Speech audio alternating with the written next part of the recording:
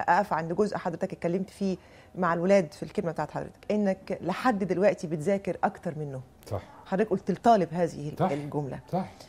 ليه بتذاكر لحد دلوقتي؟ دي جملة غريبة قوي لا لا لا بالعكس. أنا بذاكر أنا مش بس أنا ما بقراش كتب.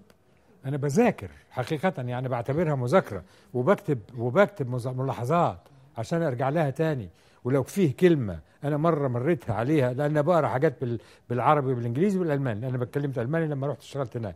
فلما ألاقي كلمة لسه مش عارف المعنى الحقيقي بتاعها إيه أروح كاتب في ورقة جنبي كده عشان أروح القاموس وأعمل كذا لأنه أنا اما كانش الواحد بيعطي بعض من وقته لجمع علم جديد يبقى الوقت ضايع. صحيح. وقته ضايع. صحيح. فلازم الواحد يذاكر مش صحيح. بس يقرأ. يعني أنا أنا